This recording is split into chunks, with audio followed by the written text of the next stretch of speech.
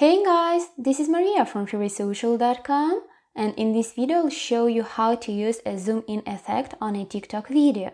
If you want to draw people's attention to a particular thing in your video, then you can do it with a zoom in effect. Follow these steps and you will find out how you can use it. Press on the plus icon at the bottom of the screen.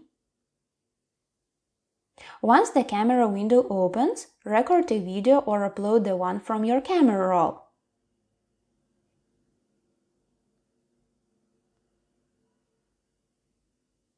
After that, click on the Effects icon. Choose the Transition option from the menu at the bottom of the screen. Decide what part of the video you would like to zoom in and drag the white line there. After that, hit the Zoom In, tap Save.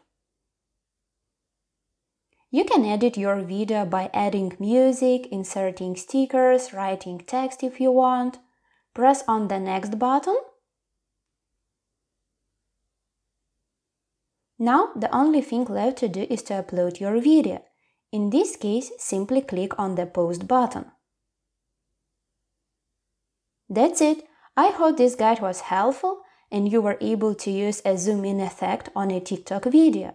Don't forget to like this video and visit us at freewaysocial.com.